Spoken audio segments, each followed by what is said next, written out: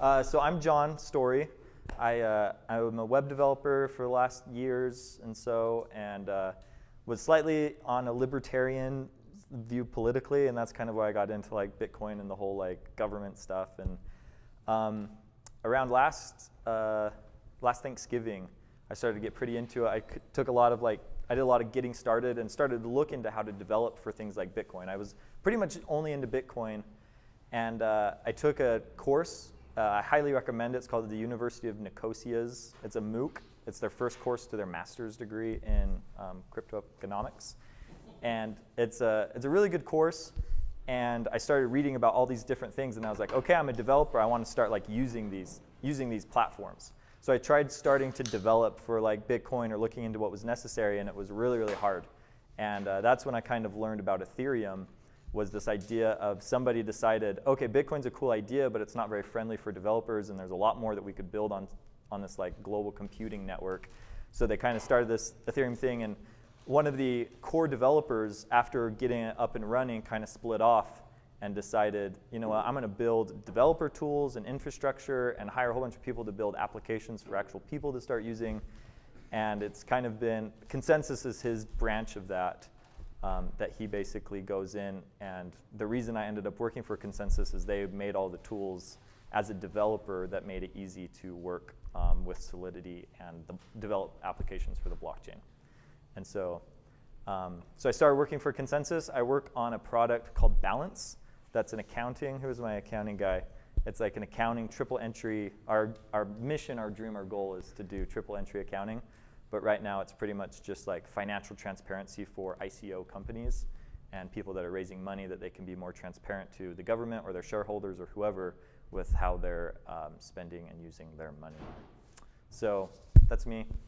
Uh, yeah. And this is, this is Joe. And I, I uh, want you to hear it. I'm going to see if we can hear it um, through his own words of kind of his journey. Uh, I thought it was really interesting. So let's see if. Uh, uh mostly in technology with a smattering of finance uh, more recently. I studied electrical engineering and computer okay. science. Or is that pretty bad? Uh, I couldn't understand why so many of my roommates and friends were econ majors. So Mike, JV, uh, Dave, Rich. Um, science and technology was the only pursuit that made sense to me, and I felt the financial world was, at best, mundane. I was a computer nerd, grew up on Star Trek, read a decent amount of cyberpunk and sci fi. It was obvious to me that the geeks would inherit the earth. Fast forward 15 years, and I started a transition to the world of finance. I finally became aware of and perhaps even started to understand a little bit what I then thought of as the big game finance, global finance, economics, and geopolitics. I worked at Goldman for a little while and also with a software firm down on Broad Street, right by the New York Stock Exchange and beside the old Goldman mothership. One day on my way to work, I exited the subway, looked up into the beautiful sunny sky, uh, and saw charred pieces of paper raining down everywhere. After looking up for a few seconds, my eyes started to burn. Micronized jet fuel, perhaps. Curious fool that I was, I walked towards the event. I was walking towards an area that would later be called Ground Zero. It was September 11, 2001. I was about to be chased down the street by the pyroclastic flow that results when a very large building collapses on itself and effectively disintegrates. In a very big way, my world, everyone's world, changed on that day. Growing up, I and everyone I knew trusted society and the structures that we found ourselves embedded in. The 60s ushered in an early wake up call with respect to the military industrial complex, but then we hit snooze. The 70s ushered in disco. That ultimately proved fairly harmless. uh, Tom Wolfe called the 70s the me decade but I think we perfected selfishness in the 80s. Many called the 90s a great decade. I think that is partly because science and tech and general knowledge dissemination and communication took such tremendous leaps as our communications meshes and the internet began to ramify. The internet and mobile phones began to shrink the planet quite dramatically for many. 9 11 to me represented a loss of innocence, or perhaps a loss of naivete. And the many learnings and disclosures in the decade or so following 9 11 laid bare the complex and often unhealthy context that we were actually embedded in. Many discovered that it was folly to trust all those structures that we implicitly felt had our best interest at heart. Politicians, bankers, pharma companies, insurers, car companies, healthcare organizations, they were all focused on making a buck, and really, they couldn't care less about your well being. Perhaps the fake news phenomenon is actually more honest. Perhaps it was always fake news to a significant degree, but we're just labeling it more accurately, accurately of late. 9 11 woke up many people. I and so many others became more interested in monetary theory, esoteric aspects of finance like mortgage backed securities and collateralized debt obligations, geopolitics, hidden power structures. I did enough research back then and developed a deep enough understanding of the global economy and financial world to get quite depressed about it. I felt we were living in a global society and economy that was figuratively, literally, and morally bankrupt. 9 11 ushered in nearly a decade of aware people trying to wake others up from their slumber of innocence or their robotic existences in the major edifices of society. These people were trying to occupy everything just to get the message out, to get the message across. I'm normally not one to speak out at that point in my life, even started to send friends and family written thoughts and updates on events and concerns that I had. I was confident that our economy and society were in a slow cascading collapse, and I only saw two outcomes. Central bankers would kick the can down the road for as long as possible, enabling the enormous debt in the system to be paid off with greatly devalued currency in a devaluation race to the bottom. This had the potential to stifle growth and, and broad prosperity for decades. Or more likely, some nonlinear collapse would bring great hardship, a more profound global depression than anything previous. I did hypothesize some possible magical escapes that would drive tremendous growth in the economy free or very cheap energy, drastically reduced taxes, the ability to teleport anywhere on the globe instantly, uh, or more gloomily, World War III. Planning for the worst, I took a trip with my brother to Peru and Ecuador and even put in a bid on some land that could serve as an escape if necessary. I visited my friend Mike Novogratz one night to share my concerns and asked him if he was interested in being part of formulating an escape plan. To his credit, A, he was not concerned, and B, he indicated that if shit were to hit the fan, he would want to face it with friends and family here in good old America. Mike is a patriot, and he would do what was required to fix the situation at home. And so it went. Later, in early 2011, I read the Bitcoin white paper written by Satoshi Nakamoto, person or group. I had the epiphany that so many in our space had. Decentralization was a game changer. Satoshi had invented a mechanism that could enable us to build far better alternatives to the legacy systems. Alternative structures for economic, social, and political systems that could exist on a foundation that could not be improperly manipulated. There was no longer any reason to get the message out there was no reason to consider exit or escape.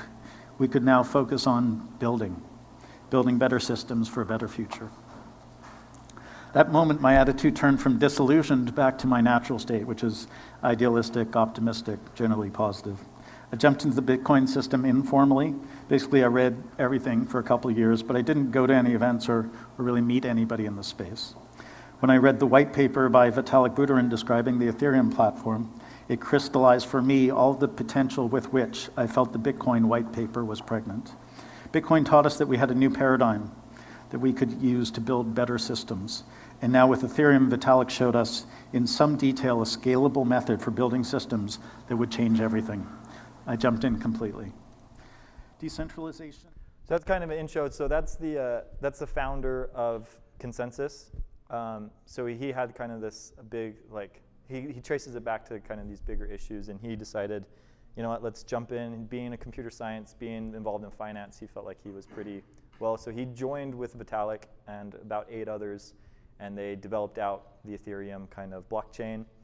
And uh, basically, it's been him and hold that isn't right.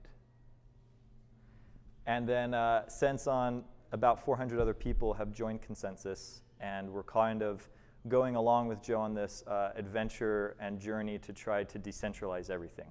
It's this idea that eventually decentralized systems will be the way of the future, and he's basically just sticking his finger in as many pots as he can to say everything needs to kind of go through this transformation. Um, we have new systems. And so that's kind of like a background as to the founder and kind of the, you know, the culture, the culture driver of, uh, of ConsenSys. Um, so what is ConsenSys then? Like, uh, what, what do we do? So this is our uh, lately, it's kind of, uh, I'm going to I'm going to warn you that a lot of things that I'm going to end up saying tonight are like very, uh, in ConsenSys we call it meshy, as in like messy or mushy. Uh, it's very, everything's very flexible. I could show you a similar version of this that we had maybe six months ago, and there would be different projects up and different, um, like, just different talking points. But so basically, we're just kind of in a constant like flux of people having ideas and saying, hey, we should really work towards this. But this is kind of the, and I can send this to anybody that's interested, but essentially we have uh, like hardcore infrastructure things. So he basically went off and said, okay, in order for everybody to use um, a blockchain, we don't really expect everybody to uh, actually have a version of the blockchain running. If any of you guys are know, like in order to have the actual Ethereum blockchain, it's like 150 gigabytes on your computer running. And it's like, well, you know, is that, are we actually going to be able to scale that? It's like, well, no, so we're going to create a thing called Infura. And Infura basically is like a trusted um, Ethereum node that if you just want to do something from your phone or something, it's basically like an API that you can subscribe to and that will broadcast transactions. You still sign things with your own keys and private keys and everything, but you basically send that transaction to them and they'll broadcast it to the, to the network. And uh, actually, I think I go through some of these. Okay, so this is basically Infura. Right here you have a map of kind of where different people are using it. They get about 1.2 billion requests per day, people running things on top of the Infura network that aren't, aren't downloading the full blockchain but wanting to interact with it in some way. Um, but yeah, that's basically what they do is just provide a trusted Oracle system. Um, they also have tools such as MetaMask. Um, MetaMask is, it, and unless, depending on how technical you guys are, these are all tools that me as a developer, as I was trying to develop, I would look for tools like MetaMask, which enable you to write a normal app and have it be on a browser so people can go to like Chrome and still interact with it. Um, if you guys are familiar, there's other ways of doing dApps, like uh, Carl's doing one that you actually have to have it on your computer. Um, there's other systems that you basically have to download special browsers in order to interact with the blockchain. But these guys are a, uh, a Chrome extension. If you can see, I've actually got them up here that basically let you um, have different accounts. These are all different like Ethereum accounts and you can just keep it in your browser and interact with block dApps that people build, the blockchain on normal browser. Um, here's their, their users, they're growing really fast. Um, here's some like, they're not super big, right? Like 6,000 Twitter followers, like how big is that, right? But in the developer ecosystem, it's like a pretty awesome uh, thing if you're trying to develop with, uh, with Ethereum. So they're behind these guys, and then Truffle is basically a, uh, Another developer tool that people use in order to deploy things to the blockchain. If anybody here has tried developing for blockchains, um, it's a really big hassle. You have to compile things in a special way, and then you have to, there's different networks. And then in your code, when you deploy something to a network, you have to keep track of the address that it sends it to. So for example, right now, how internet works is you will create like a, you have like your local machine where you're developing things, and then you'll push it up to a server that is mapped to www dot whatever like address it is. But the blockchain doesn't really work like that.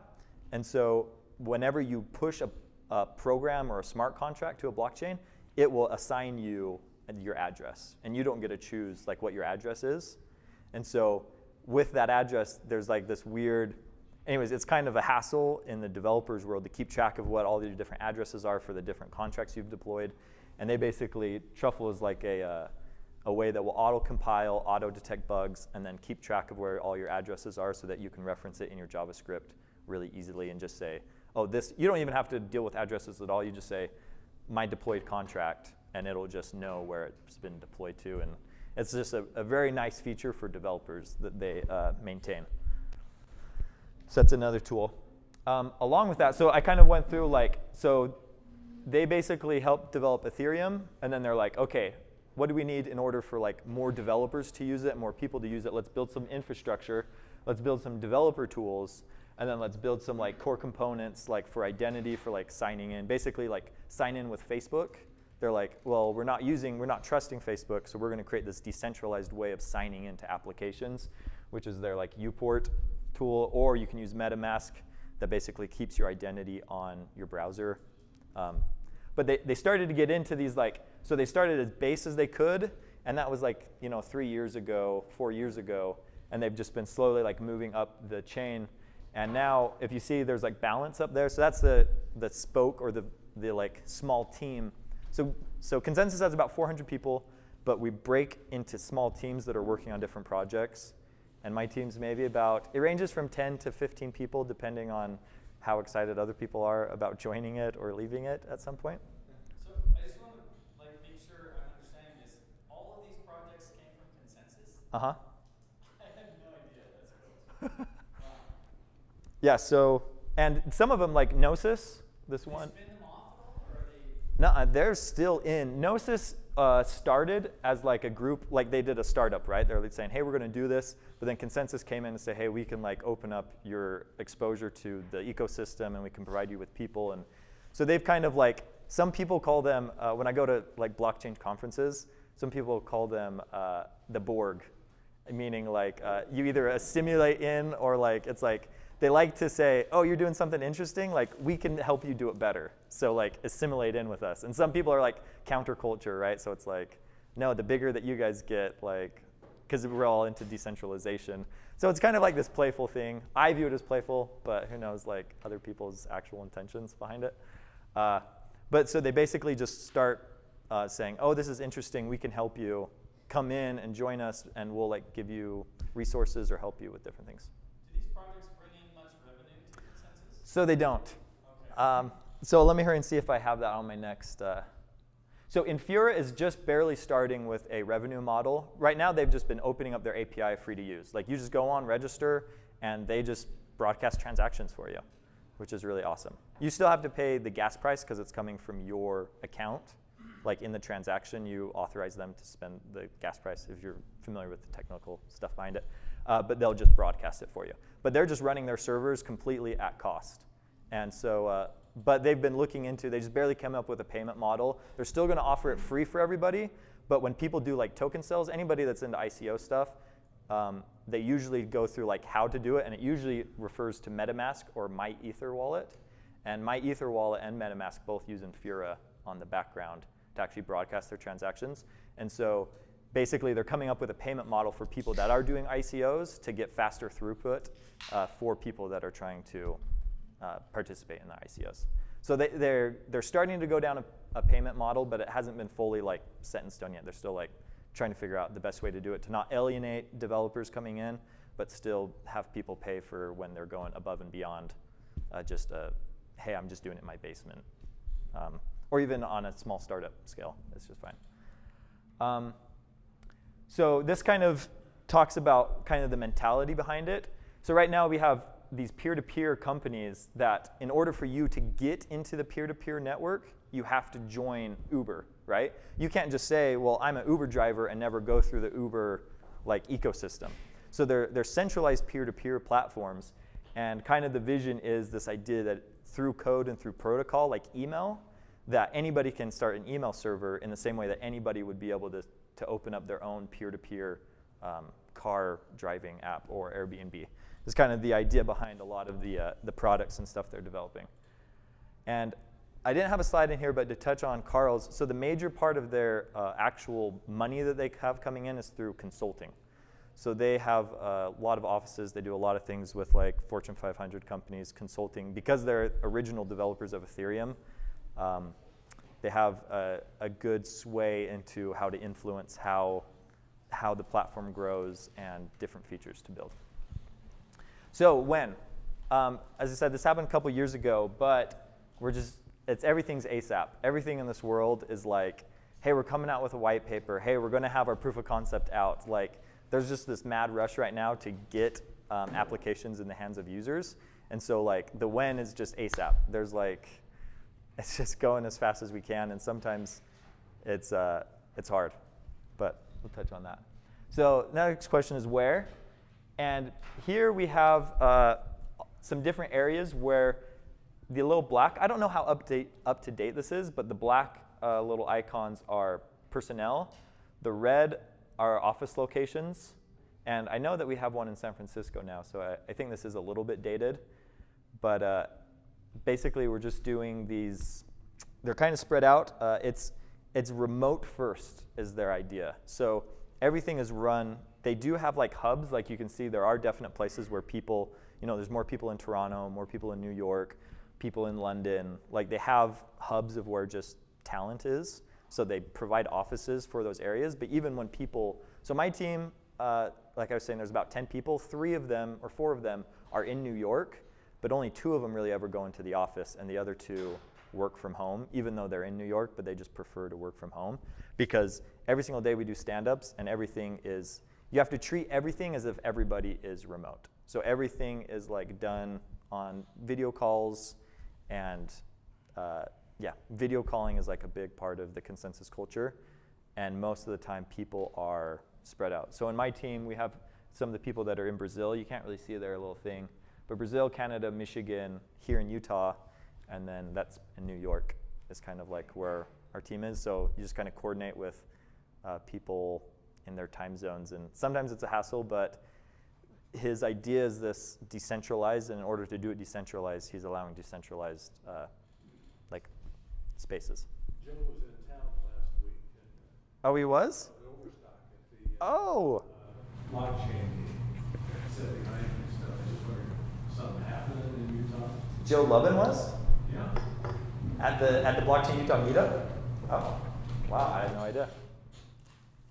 I don't know. There's three of us. There's three people that work. Um,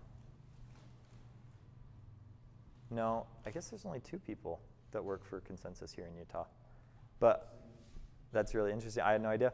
It's probably from, because of T zero, um, Patrick Byrne's, exchange, that's SEC regulated, the ICO.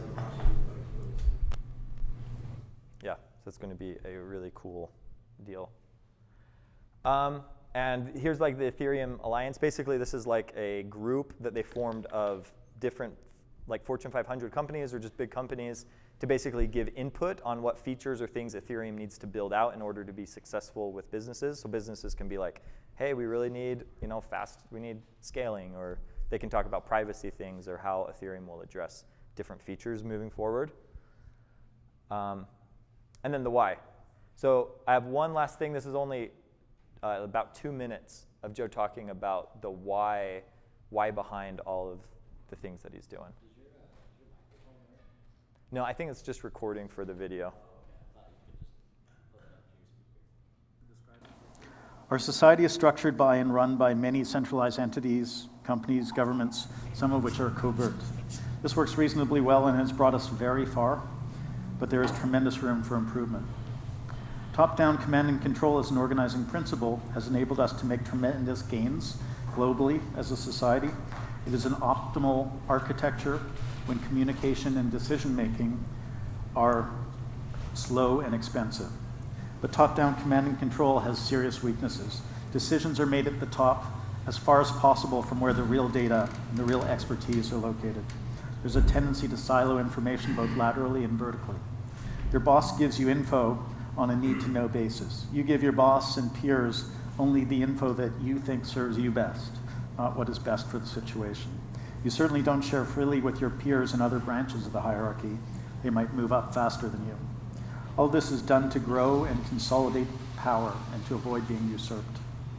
Finally, hierarchies are easily calcified and brittle. They don't adapt to novel situations very fluidly. Top down command and control has served us very well. It has built, enabled us to build a great civilization. But importantly, it has brought us to the point technologically where we're enabled to build a decentralized society. Over the past few decades, we've wrapped the world in layers of communication networks. Nine years ago, Satoshi made a major breakthrough in computer science, enabling all actors on a blockchain platform to come to a decision within 10 minutes, even if up to half of those actors are malicious. Ethereum has pared that down to 14 seconds and very soon 4 seconds. In this context, in which communications are ubiquitous, instant, and cheap, and decision making by consensus can be cheap and rapid, an organizing principle relying on consensus among a richly communicating horizontal group of actors provides the most effective paradigm. It will take time, but once built out, flatter, decentralized economic, social, and political systems will be more effective, more fluid, and far less subject to corruption. Decentralization and horizontal infrastructure implies So basically, his big bet is that a decentralized company is going to be, in the long run, a more fluid and better company. So right now, ConsenSys, there really is kind of one boss, and it's Joe. And people are encouraged to try joining teams. Like I was showing you, there's that big like list of projects that are going on. There's about 400 people, and everything is based off of. Imagine it as if you're like in high school, and people are trying to convince you to come like to uh, you know math class, saying that math class is like where the future is going to be, or there's another class, another like club, and you know there's kind of like club presidents, the people that have kind of like been working with it for a long time that are trying to like do help you, and they're kind of like have more respect, and they kind of like push along the project, but at any point, so essentially like uh, we call them spoke leads. Um, like for instance, I'm when I joined ConsenSys, I was the only front end developer, and so I kind of made a pledge to be like, okay, I'm going to stick with ba- balance until we can like get to an MVP or get something in the hands of users. But at some point, I'm going to be interested in exploring like open law that's tying smart contracts to legal contracts. You know, and I kind of wanted this flexibility to be able to, uh, you know, like look around at other projects. And basically, ConsenSys is saying, you know, that's fine.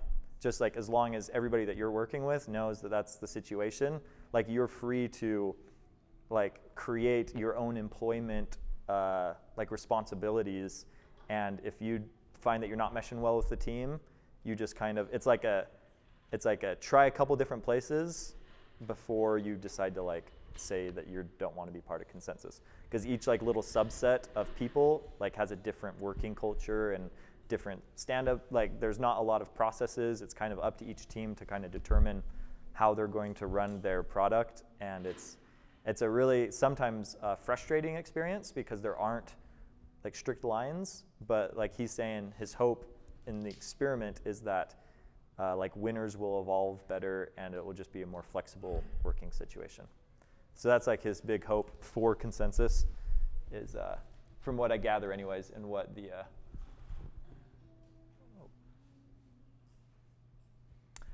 and that's pretty much all I have to present. I wanted to open it up for Q&A if anybody had any other questions. Um, yeah? Last week I was going to get on MetaMask, and then today I was going to get on MetaMask, and I was getting all kinds of static out there saying it's got problems right now. Let them fix it first. So they have they just released a bug bounty for a bug that had to do with seed phrases, and they don't actually know if it's a bug or not. They've had people writing in that basically, the, if you guys are familiar with mnemonic uh, seed phrases, that some of the seed phrases that they spit out aren't actually, when they go to re-put them in and import in another browser, that they're not given the same accounts again.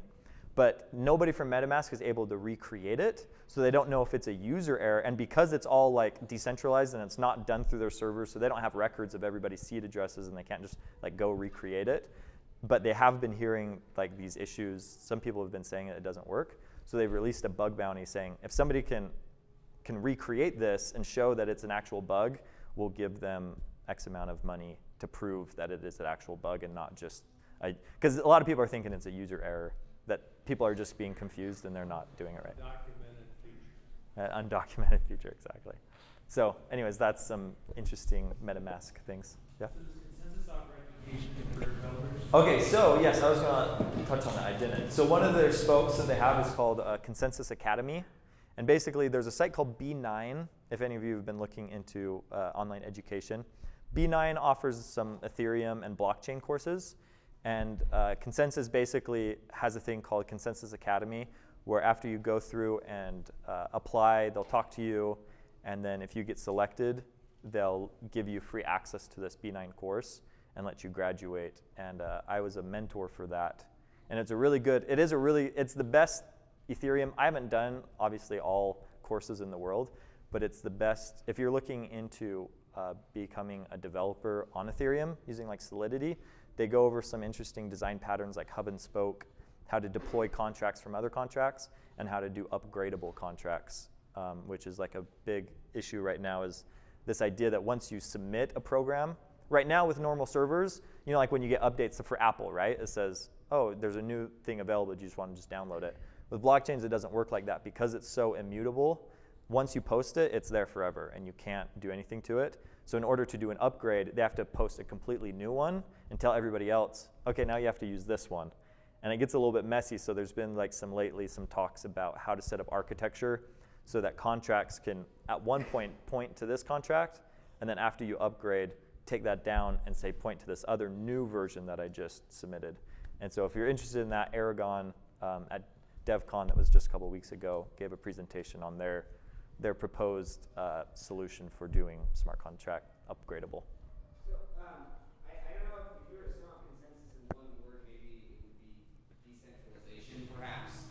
So with that, I'm, curious, in your observation, are there, with, with that many people battling perhaps uh, again, conflicting philosophies and ideas and whatnot, I'm just curious, do you see much splintering going on? Would you be surprised if ConsenSys ends up being four organizations five years or so? Or You know, that's an interesting question. Uh, I wouldn't be surprised if groups split off because they've talked about that. At what point does MetaMask or Truffle or Infura just say, hey, we're not really part of ConsenSys anymore?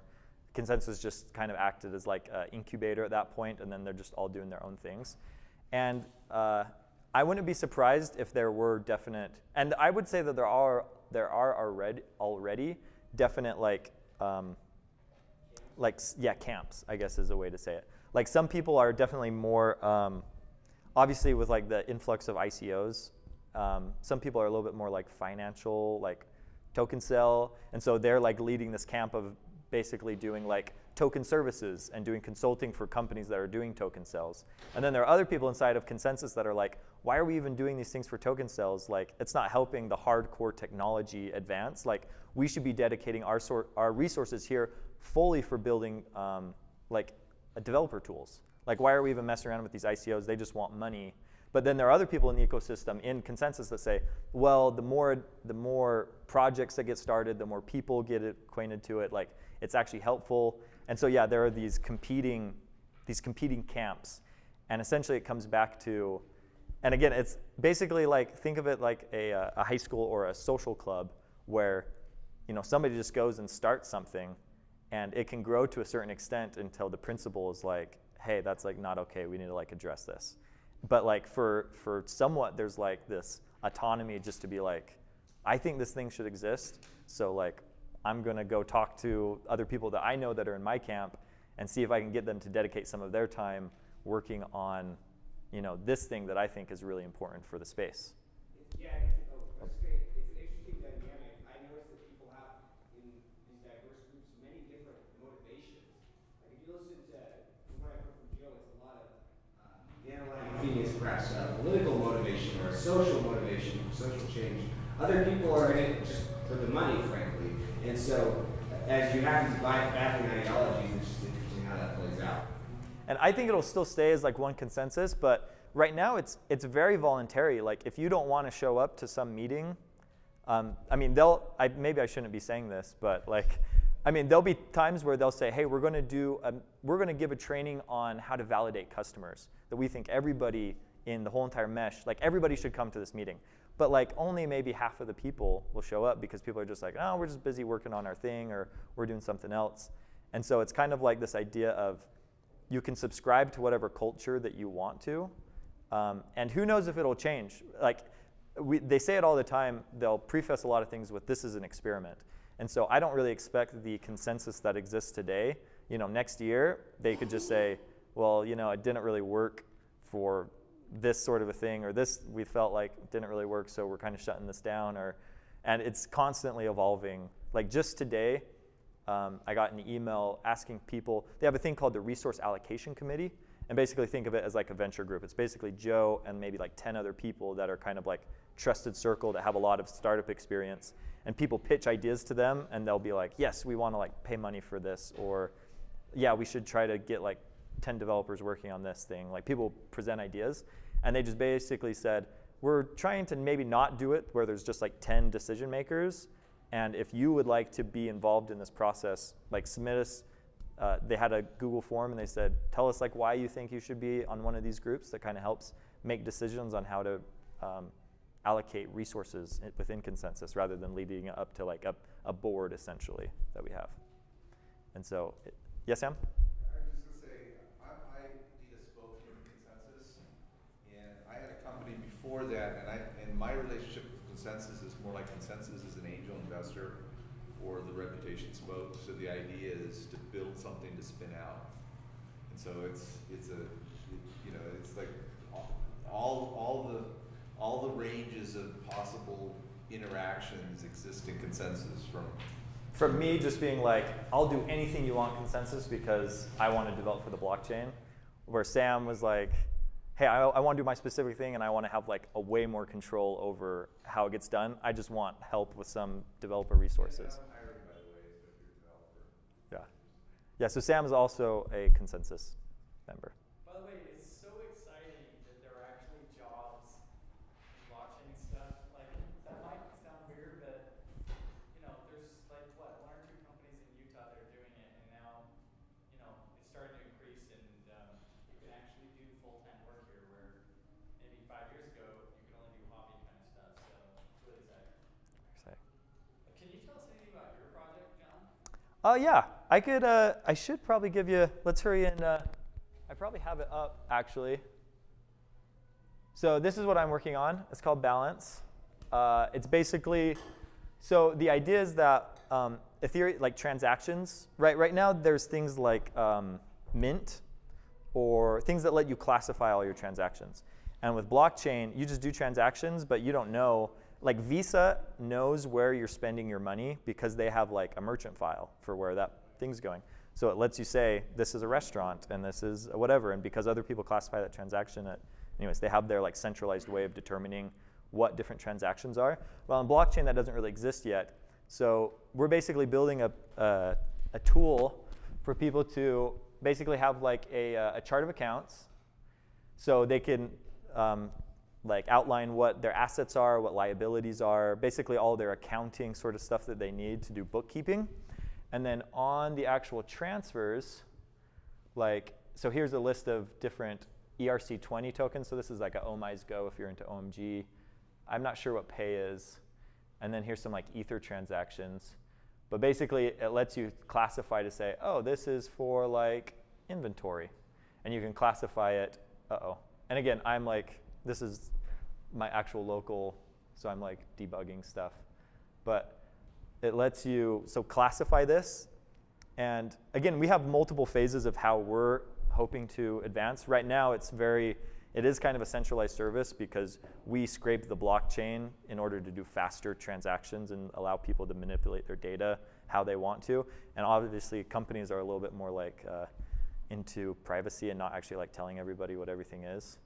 And so, yeah. Um, like I, I did, uh, I did a transaction with uh, Coinbase, and uh, it said on my uh, bank account Coinbase. So um, would that like cover it? Like, would you Well, be able to make your own So?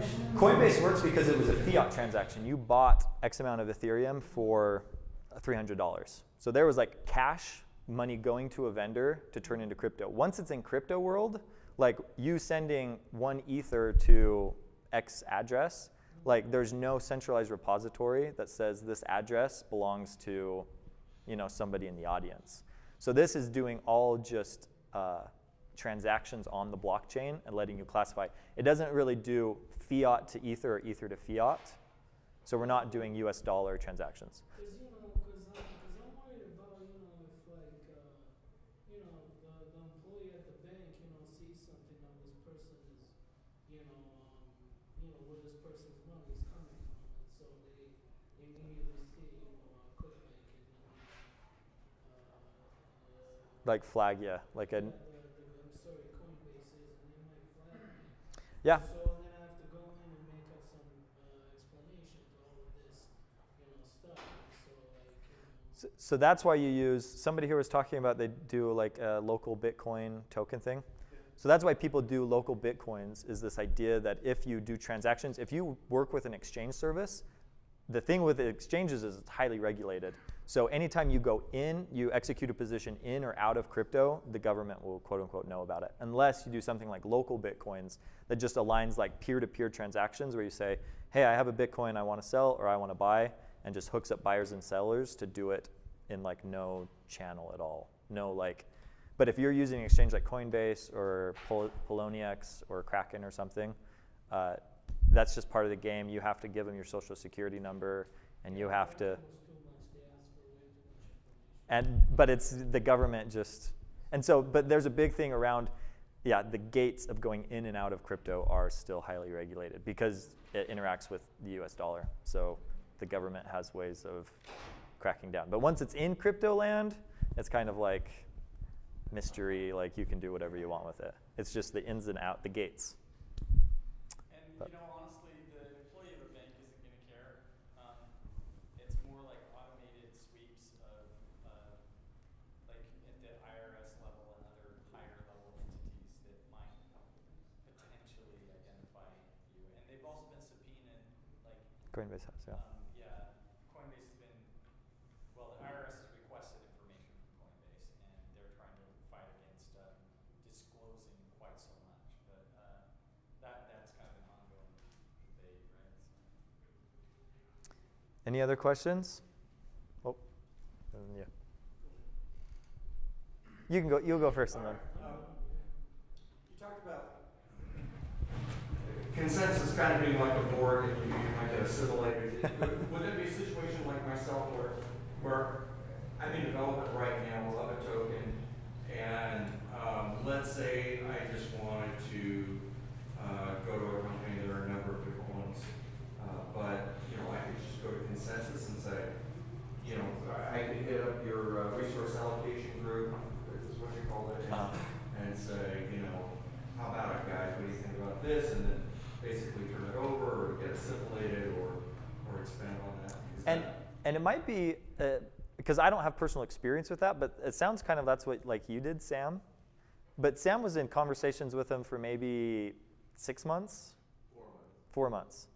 So it, it, it is a longer process. My my like hiring process took five months, and so yeah, basically you would reach out to them, and you would start to provide like, hey, I'm doing this project.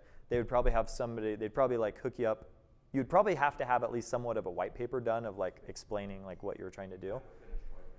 And then basically they would, and again, I don't really know because I don't do this every day. So it's like not my branch of ConsenSys, but I'm assuming they would hook you up with somebody from their like uh, vetting, their like project vetting, because they just barely opened up a VC fund as well for people that didn't want to come into ConsenSys, but that ConsenSys still was like, this is a killer idea.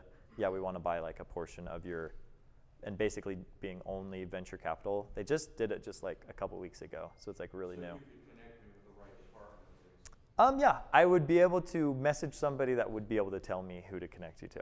Yeah. And uh, yeah, You looking for a VC, No, venture capitalist? no, more than anything, I'm looking for developers, for coders. yeah. And so that would be, I mean, that's what Sam's looking for too right now, right?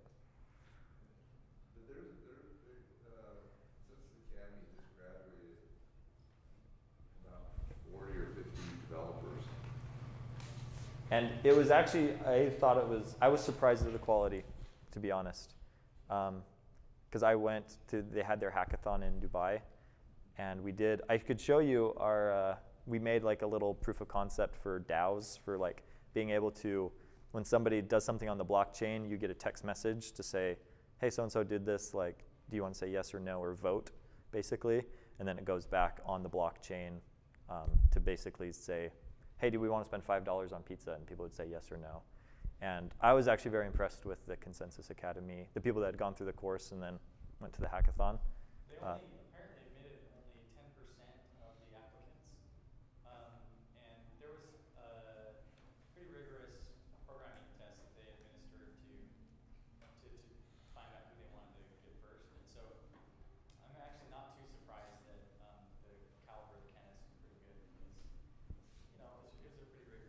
That was a, yeah. So, um, but ConsenSys Academy, if anybody's interested in looking into learning, if you're obviously like Carl said, they look for people. It's not like it's not like if you develop for blockchain, it's like in a silo. Like you have to kind of understand other existing web technologies and how it fits in because it's a lot of people say it's like the new internet, but it like it really is just like a new database on top of the internet that enables. It's kind of like I was talking to uh, Jeff earlier today about this, but it's like saying um, app like apps or native started to come out, um, like mobile native where like mobile phones didn't like reinvent the internet. They just like enabled a new class of apps to be made that people used in a different way than how they used them on a computer. It's kind of the same thing that basically they created this blockchain and it's not like replacing the internet. There'll still be like amazon and facebooks and googles and stuff but it's just creating a new class of apps and a new class of understanding and thinking about like your data and like how you deal with money that hasn't existed before so there's like a new a new like opening field of the internet that now is becoming possible. But like still internet, it's not going to like replace everything on the internet and you're never going to use normal websites. Like that, in my opinion, won't happen. Um, yeah. I kind of want to piggyback, piggyback off that. Like, very new to the blockchain development scene. Um, and I'm trying to get a consensus of when to decentralize.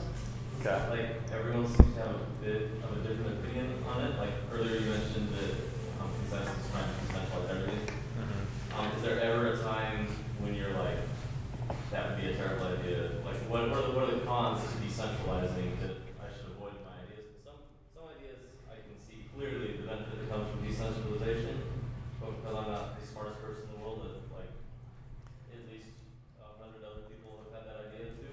Mhm. Some other ideas that I have are more unique. I like have a hard time seeing. Yeah, and that's a really good. So right now there's a hype bubble. There's like a hype, a cycle of blockchain. So a lot of projects are being developed, and there's a couple really good articles that talk about the need for tokens. That sometimes people just have existing businesses that they're just saying, okay, we're just going to do our existing business and just put a token on it so that we can raise a whole bunch of money to like fund our thing. And then there are some applications that are like, oh no, this is like an actual change of the way that this organization is going to work. But right now in the ecosystem, you'll see both types. Like you'll see people just trying to raise money that aren't like super into the technical aspects of it, or that could like build another solution just using Ethereum that they don't need to create a whole new token network for. Um, so it's it's a tricky question. Um, I I would say my personal opinion is that you should you should look for centralization. I feel like centralization is much cheaper and much easier than decentralized. So in my opinion, it's a new database. So you'll still have like an app with existing database functionality and like standalone app, but when you need to make something public that you want to be able to control still. So if you ever want to like have a uh, something uploaded to like Google Drive that you still want to be able to control, or have logic over money, like escrow accounts. Those are like the two main things that I think are the biggest. Because this is the first time that we've been able to have quote unquote programmable money. And so there's that's where a lot of the hype in the space right now is over like market things and like money sort of based things because we've never been able to have the freedom to transact so fluidly without like intermediaries being like, hey, we have to watch over stuff.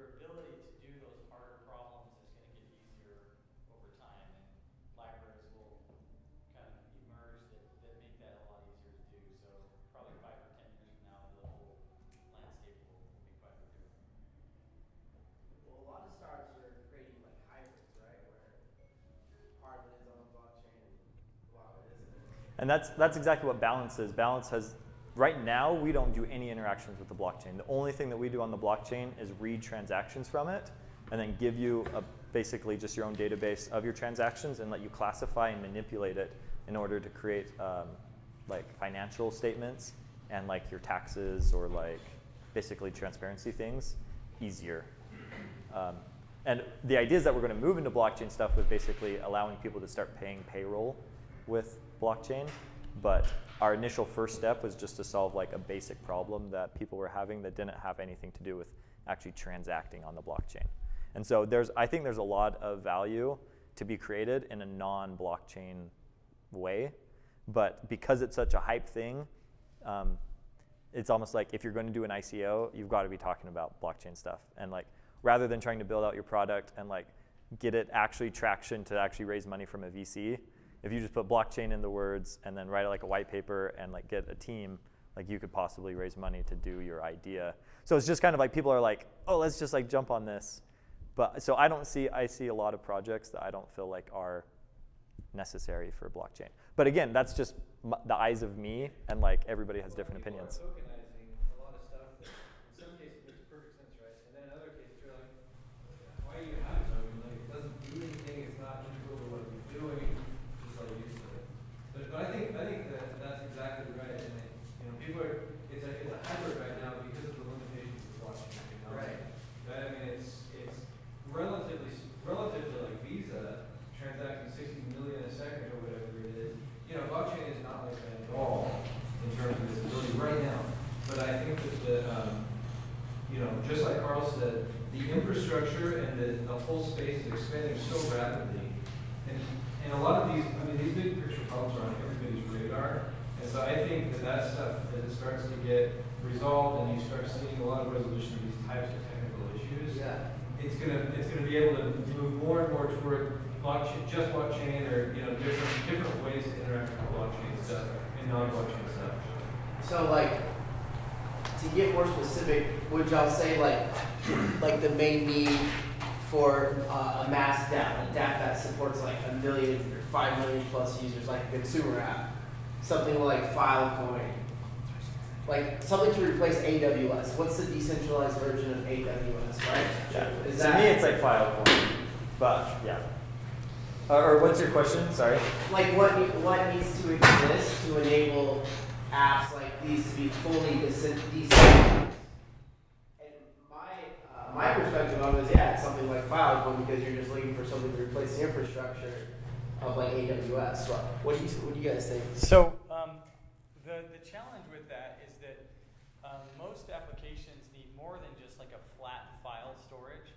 So I would say Filecoin and things like IPFS and um, Swarm, which is a another kind of similar tool to IPFS, are handling the problem of S3, which is one Amazon product. But Amazon has just a host of other uh, products and services that they wouldn't quite work for. Like one of the most obvious ones is a database. Um, and I know that the Swarm team, there's a company called Wolk, W O L K, that is um, adding uh, distributed uh, kind of MongoDB like database to uh, Swarm. And so that will be like yet another layer within Swarm that if you use it, you get this sort of nice replicated database that goes across the entire Ethereum network, and you don't have to worry too much about where the data is being stored on. And hopefully, it's um, the performance is good enough for most applications. Um, but yeah, that's that's new. That's that's barely get started to get done right now. So. A- And I would say that another, the another one besides just technical aspects is just like cultural, like you being like onboarded on having an actual Ethereum address and knowing about transactions. Like, in order to get somebody to use your app, if you're trying to educate them about Ethereum and then about your app, it's like that's like so much education where if people get more and more like knowledgeable about how it works, then it's like, okay, I get it. Now tell me about your app. And so it's like this cultural, I don't feel like people are ready to just be like, I'm going to do, and unless there's some like special use case like investing where it's like, oh, if I if I like learn about this and watch a whole bunch of videos, I might be able to like double my money in the next month. If like, so that's like a big motivator of people like, okay, I'm gonna figure this out because I see people making money, whereas there's not like a huge app that people are like, oh, I'm gonna learn all about Ethereum so that I can like do this app that keeps track of my health history or something. Like, it's just not compelling enough yet. Like user, like what high school kid cares if their app is decentralized or not? You know, so So where I think a lot of like we're we're trying obviously we're kind of probably one of the more uh, cutting edge in terms of trying to make a fully decentralized product. Um, and where I see a compelling value proposition is in um, being able to say that like you don't have to worry about what infrastructure you're running on if you use our system, and that you also are limiting the potential for um, disclosing too much information. So from a corporate perspective, um, a lot of companies are moving away from being responsible for all the data that that's going through their systems. And, and so like Apple, for example, was recently asked by the FBI if they would unlock an iPhone. And they just, even if they complied with that request, they opened themselves up for all sorts of lawsuits and other challenges by doing that. And so if they can minimize the vector of the data that they're responsible for, then that's a really compelling value proposition for a business. So I think some of the value that, that these kind of systems will add might be more appealing to businesses to begin with. And then later on, um, trickle down to consumer as the consumer becomes more uh, like just conscientious about who's got their data and what they're doing with it. I think that everyone's getting a little leery of like Facebook and Google and others, and the way they sort of almost have this like um, clairvoyance about what it is you're interested in, and you're like, how do they know that? and people are just getting a little worried about that. So I think that um, the the more we move, like the more people see the potential challenges there, that they might want don't want to it. go. No, yeah. I totally agree. Yeah, yeah.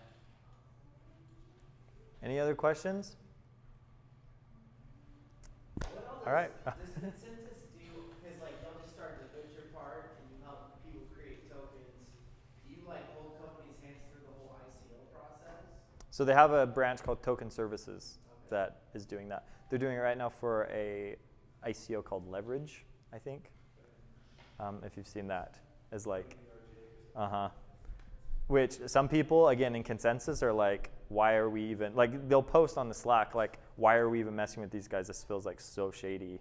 And other people in ConsenSys are like, no, like it's a thing. We got to do this. And like, anyways, it's just there's like there are different camps of people that uh, like some people think, yeah, let's do it, and some people think, no, we shouldn't do it. And it's this idea of being fluid enough to let them explore, and you know, maybe they're onto something really good, and that's going to actually like power ConsenSys to like become profitable for doing other things. Like they're trying to to not be super stifling of people's interests and what people want to do, and let let things grow organically and like actually let people try to succeed rather than being like no this is like our one mission statement and this is the one thing that all, everybody's doing we're all which anyways i won't get into like uh, like political theory but uh, it's interesting it's it's an experiment for sure Does Ethereum have any competition?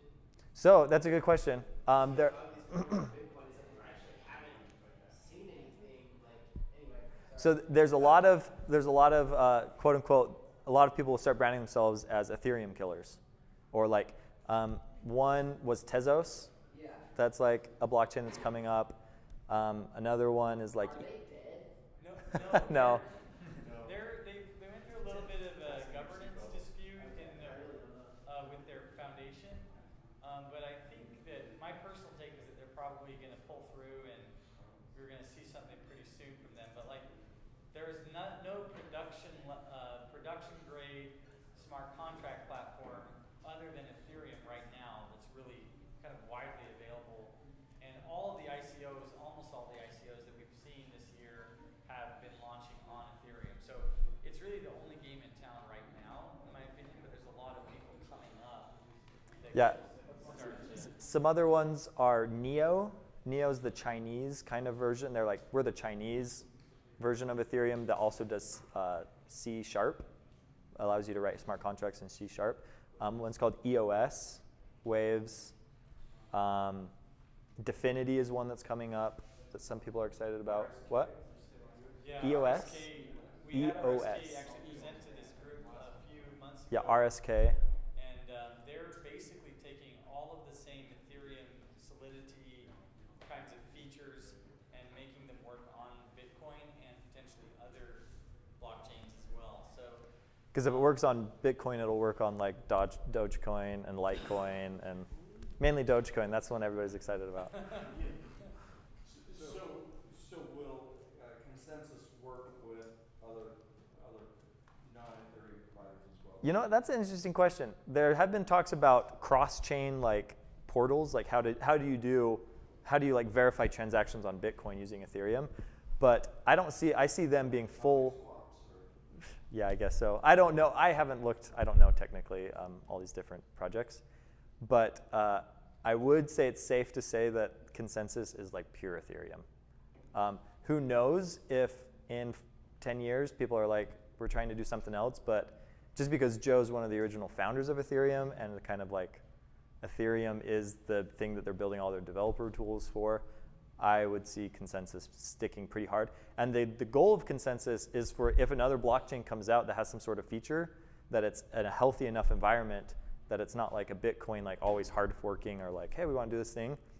The idea is that they want to be fluid enough to be able to be like, oh, that's a great idea that was implemented by this other blockchain. Let's bring that in and still take advantage of all the developer tools that we've built for this existing blockchain and just like pick and choose different features. Because any decentralized system, anyways, they're give and take, they're like trade offs. But the idea is that, like Carl was saying, RSK is looking at Ethereum and saying, okay, well, let's build these things into Bitcoin. Some other blockchain comes up that does something new, and then Ethereum will say, oh, yeah, we should have that and bring this in. And the idea is that hopefully it'll evolve and but there will eventually be multiple blockchains. I don't think there's any sort of like Ethereum will be the only blockchain or Bitcoin will be the only blockchain. It's a general consensus that yeah, there's going to be like a whole bunch of different ones. Did, okay, yeah. off to the side. So in, in December, they're looking at opening up futures for Bitcoin. Okay. And I was wondering if. Are you talking about like on like the stock, like like stock. like stocks? Derivatives contracts, right? Yes. So, so, I don't know exactly what that means, but they'll be able to short it, like, those those be able to short Bitcoin? That's what it means, yes. Okay, and what, what does that mean for, I mean, is that a lot of institutional money, like how much money is available there? You know, what can we see happen because of it? Well, I can give a quick, at least thought, which is, the last time I looked at this five years ago, the notional value of the derivatives market was like in the hundreds of trillions of dollars or something. And that's for, for the stock exchange and stuff, right? There's no reason that that sort of size couldn't exist in the crypto world as well. What? I mean, this guy would probably know better than you, he's a guy. Uh, Probably have a better. What do you if you have anything say? He's, I've got, I have some thoughts on that. So I, I've done derivatives trading strategy for energy firms. And one of the, one of the core functions of derivatives are to hedge volatility. Um, so it will allow large, it will allow players to work in cryptocurrency uh, without the volatility. They'll be able to hold the assets and that allows them to smooth their profit and loss statements, so it's just like super, super useful, uh, for larger corporations. So, so would you guys both say that adding this institutional money to it is probably going to increase? Uh, that's what I would view, I but saw a news report today that some company re- re- renamed themselves and added blockchain. I just saw this today, and their stock increased by three hundred seventy-four percent. Just off of- Overstock has done the same thing. Overstock is basically a five hundred million dollar company, from what I understand, right? A year ago, Overstock, their market cap was five hundred million bucks. Then they said, hey, we're gonna buy some of this, and we're gonna get into blockchain that, and now their stock is like triple the value, right? And of course, they're, they're allegedly anyways, trying to raise a five hundred million dollar ICO, which, whatever you think about that, there's no question that people, that, that money has been coming into these companies just because institutional money wants to play in this space, they can't. They're, they're prohibited from doing so in a lot of the traditional ways. They can't just go open a Coinbase account and start buying. So yeah, I mean, I, I think the answer is absolutely. There's, you know, these are, these, like, financial markets are so big that they're almost impossible to. Well, this is like in the nature of the blockchain. Like this is like the most compelling use case. Get rid of get rid of all the middlemen. And obviously the most powerful. I mean, that's, so, is so like, anything that's ours, financial. is- like is, there's like eight trillion dollar industries right now in the, in the financial markets that blockchain just can chop out if you can get the, the, the legal and regulatory stuff right. So that's exactly what Overstock has done. Like Patrick Byrne, he's like so tZERO. That's what they're doing, and the reason it's so like awesome is because it's all legal, legit, regulated from the bottom, uh, from the start by the SEC. Like he hates Wall Street, he hates it, and so he's he's like spearheading it.